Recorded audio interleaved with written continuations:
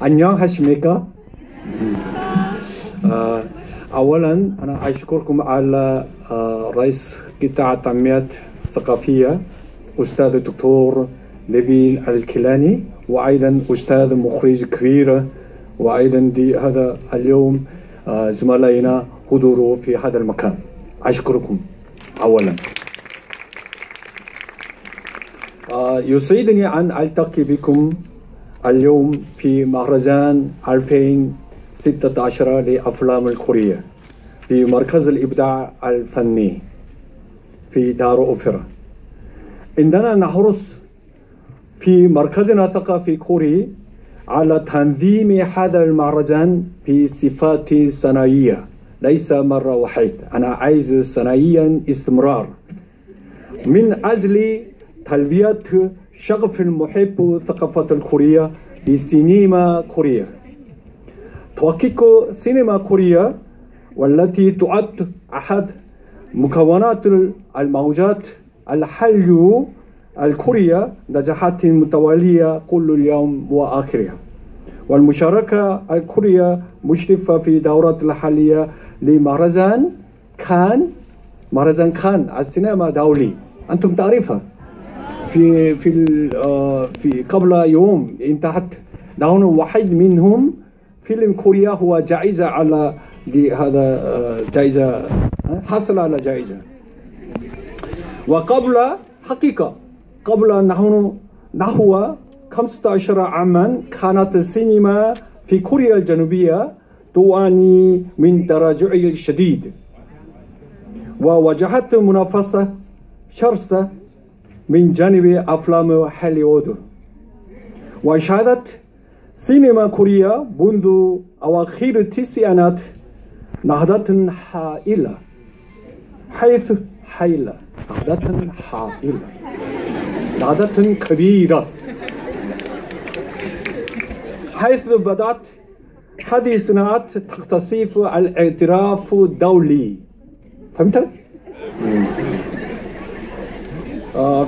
وفي عام 1996 تم تدشين مهرجان بوسان السينما الدولي دي معروفة في دول الآسية وأيضا في العالم شوية كده. لكن دلوقتي في دول الآسية يتقدم. وهو أول مهرجان سينما دولي في كوريا. وذلك من أجل تقديم ودعم المخرجين والأفلام والجديدة من إلى الاهتمام الخاص إلى السينما الآسيوية. تم عرض 173 فيلما من 31 دولة خلال دورته الأولى. لكن في سنة ماضية 2015 شارك 302 فيلما من خمسة سبع دولات في مهرجان بوسان دولي. كما تم إطلاق المهرجان الدولي الأخرى في كوريا أبرزها مهرجان بوشان دولي لروائح الأفلام في عام 1997 ومهرجان أيضا مهرجان جونجو السينما الدولي عام في عام 2000 والذي يركز بشكل رئيسي على أفلام الرقمية والمستقلة والفنية. واليوم اليوم بدأت السينما كوريا الجنوبية أكثر نجاحا سواء على الصعيد المحلي أو دولي. وحققت إيرادات صناعة الأفلام في كوريا في عام الماضي حوالي 1.42 مليار دولار. وبعد أن قفز عدد الأفلام كوري التي تم تصدير تصديرها للخارج إلى 650 فيلما.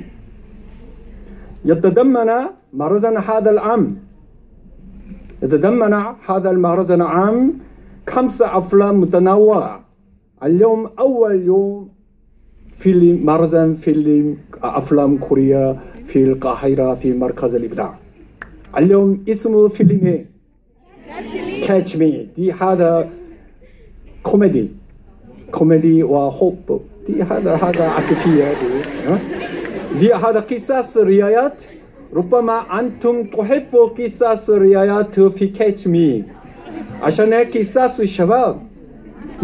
لذلك أنتم تحبوا قصص.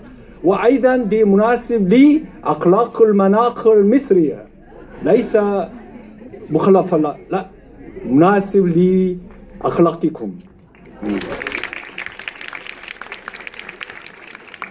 لذلك دي هذا خمسة أفلام متنوعة. وتجمع ما بينها الكوميديا والدراما والأكشن ورومانسية مثل هذا كما يلي. اليوم كاتش مي tomorrow بكرة ماما. ماما أمي أه؟ وبعدين ميلاد النجم. وبعدين دماء شاب ساخنة. وبعدين كيف تسرق كلبا؟ مثل هذا قصص؟ كيف؟ دي هذا قصص روايات جميلة حلوة. لذلك أنتم أنتم تشاهد هذا فيلم وبعدين تفهم ثقافة الكورية. دي في خلفية السينما هناك موجود حياة الإنسانية كوريا أي سينما مصرية أيضا أنا شاهدت السينما المصرية أيضا هناك خلفية قصص دي حياة المصرية. مش كده أم لا؟ آه. لذلك أنتم دي منذ أرجو لكم تتابعوا خمسة أيام خمسة أفلام تشاهد هذا الأفلام وبعدين تفهم ثقافة الكورية. أي سؤال بعدين تفتح إلى مركزنا. أنا أي سؤال يسألكم؟ آه. أعجبكم مش يسألكم. أرجو تنال الأفلام أرجو أن تعجبكم الأفلام كما أرجو أن تشاركوا في أمسية السينما كوريا التي ستعقد في يوم الأربعاء بعد الأرض الفيلم فيلم دماء الشاب ساخنة. وذلك بمشاركة دكتور غادة جبار أستاذ السينما في أكاديمية فنون وناقد السينما دكتور يعقوب زيد. يعقوب دياب. ولذلك أخيرا أرجو لكم أن أنكم تتكلم جملة البسيطة كما يلي. ماذا؟ كما يلي. هيا بنا إلى مركزنا. قول كده. هيا بنا إلى مركزنا. في إجازة الصيفية إن شاء الله بعد دلوقتي أنتم تضع في امتحان.